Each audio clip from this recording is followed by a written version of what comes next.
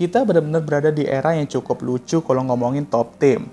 Mercedes nih, tim yang benar-benar mendominasi awal era hybrid dengan memenangkan 8 kali gelar Constructor, tapi setelah era ground effect datang di 2022, nih tim kayak kebingungan sendiri yang sampai sampai bikin fans itu juga bingung.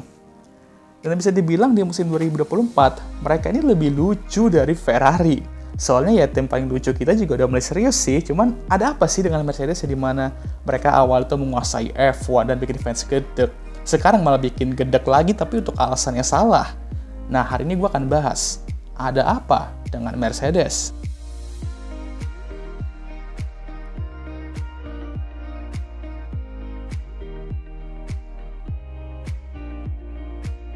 Dari 2022 aja, Mercedes ini udah cukup nekat banget menghadapi awal regulasi ground effect ini dengan menggunakan zero pot. Dan konsep ini awalnya ya sedikit membuat para rival itu ancang-ancang ya, karena konsepnya tuh begitu aneh dan unik dan katanya di simulator tuh cukup baik juga. Kita kan juga udah sering lihat tuh, Mercedes menerapkan konsep-konsep unik seperti DAS di musim-musim sebelumnya. Dan itu aja udah bikin Christian Horner mengadu ke FIA. Jangan so iya deh. Nah ternyata konsep ini malah menjadi bumerang untuk Mercedes. Terlalu banyak purposing atau jungkat-jungkit mobilnya, dan itu nggak sehat banget untuk kedua pembalapnya.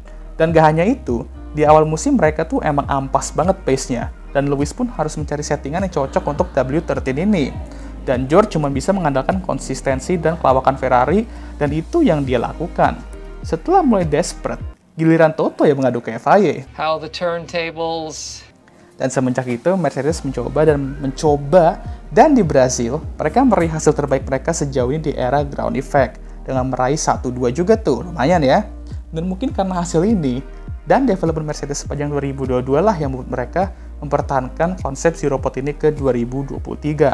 Dan oh boy, entah ini kebetulan atau bukan, tapi ada teori yang mengatakan kalau Red Bull sengaja mengalah di Brazil, biar mereka membuat Mercedes tuh percaya kalau konsep zero pot itu berhasil. Padahal mah enggak. Edan eta teh. Edun. Walaupun cuma teori liar aja ya, cuman lucu juga kalau misalnya emang beneran ya. Tapi enggak lah, nggak mungkin lah ya. Karena 2023, well musim yang aneh sebenarnya untuk Mercedes mereka tuh mobil bagus juga enggak dan maksudnya bagus untuk posisi kedua lah minimal lah ya tapi bisa-bisanya finish P2 di konstruktor ya ya mereka terbantu oleh dua pembalap mereka yang konsisten ya konsisten dan tim-tim lain kayak Ferrari itu masih kumat ngelawaknya dan inkonsisten ya. Dan tim kayak Aston Martin dan McLaren itu bertukar nasib dalam bersaing di papan atas. Jadi ada saatnya mereka tuh bapuk dan saatnya mereka tuh kenceng. Jadi nggak selalu konsisten di atas mereka sepanjang musim itu. Dan di Monaco Grand Prix dan seterusnya mereka akhirnya menyerah dengan konsep si robot ini dan mulai menggunakan konsep yang mirip dengan Red Bull.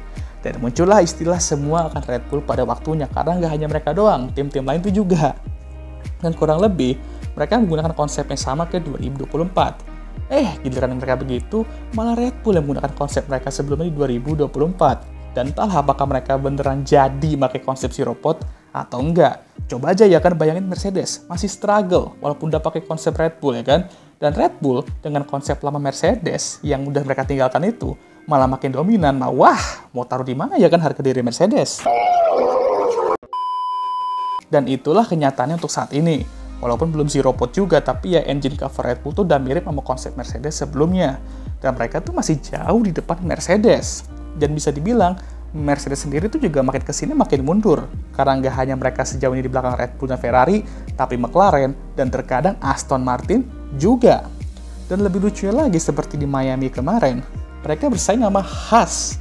Gile nggak tuh? Emang dan sebenarnya ini juga bukan pertama kalinya mereka berduel dengan Haas ya. Di 2022, khususnya di awal musim, mereka juga sering banget bersaing sama Haas. Jadi benar-benar kacau banget Mercedes tuh sekarang. Dan situasi mereka tuh bikin fans bingung. Kok bisa tim dominan ini dulu, sekarang malah kayak tim kebingungan sendiri? Nah, menurut gua, alasan kenapa mereka bisa sebapuk ini, sekarang ya karena mereka tuh belum bisa mengerti konsep mana yang cocok dan paling benar untuk era ground effect ini, seperti Red Bull ya, yang udah tahu konsep mana benar. Dan jujur aja, hal yang dialami Mercedes sekarang itu sebenarnya normal-normal aja kata gua. Yes, emang cukup membingungkan, tapi nggak langka-langka banget lah di F1 setiap dominasi itu pasti bakal berakhir.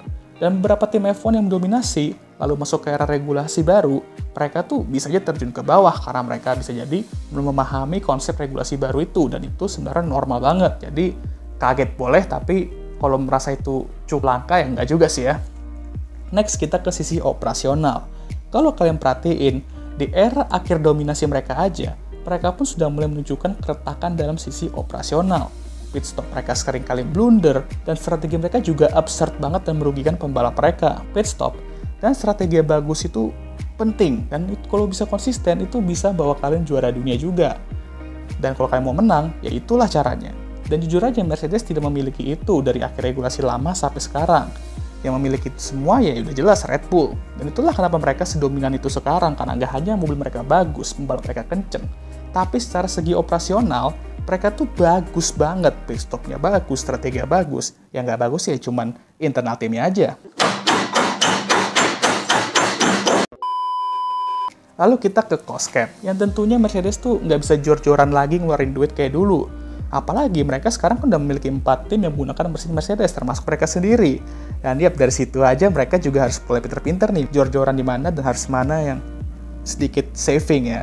Dan mereka tuh udah pasti nggak diuntungkan lagi. Tapi well, di papan atas lainnya juga sama sebenarnya. Tapi kalau dari segi customer engine, mereka sedikit lemah di situ sekarang karena ya nggak bisa jor-joran lagi kayak dulu.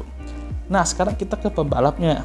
Gue tuh udah sering bilang ini dan gue akan bilang ini lagi Mercedes memiliki driver lineup terbaik sejauh ini dan sekarang hal itu menurut gue masih berlaku. Bayangin aja, pembalap 7 kali Jordan dan pembalap yang berpotensi untuk menjadi Jordan di masa depan. Cuman harus diakui dalam beberapa tahun terakhir, Lewis dan George membuat kesalahan yang gak perlu sebenarnya, apalagi George ya kan. Tapi gue gak bisa bilang semuanya itu salah mereka.